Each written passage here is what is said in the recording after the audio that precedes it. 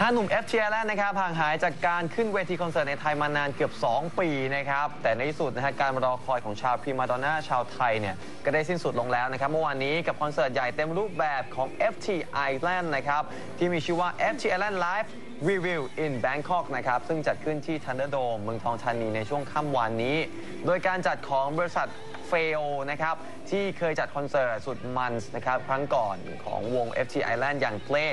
FT Island in Bangkok มาแล้วในปี 2012นะครับ แล้วก็เป็นที่รู้กันดีนะคะว่าฝีมือการเล่นดนตรีของวง Raw FT Island นั้นเนี่ยไม่ธรรมดาเลยทีเดียวค่ะ เพราะว่านับวันนะคะทักษะการเล่นดนตรีของเขาเนี่ยนะคะก็ยิ่งดีขึ้นเรื่อยๆ เห็นจากโชว์เมื่อวานได้เลยนะคะที่ไม่ว่าจะเป็น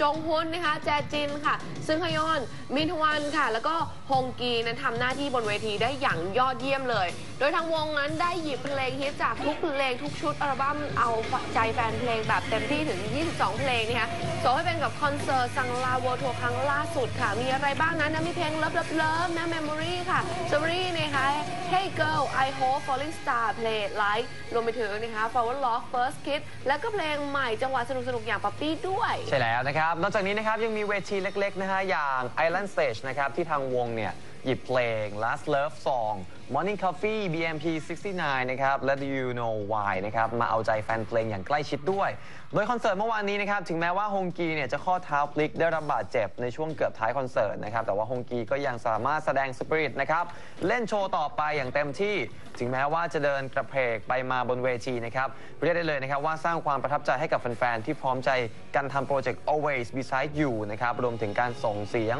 ร้องเพลงแล้วก็ให้กำลังใจหนุ่มๆวง FT Island ตลอดดังกระหึ่มตลอดทั้งโชว์จริงๆนะฮะ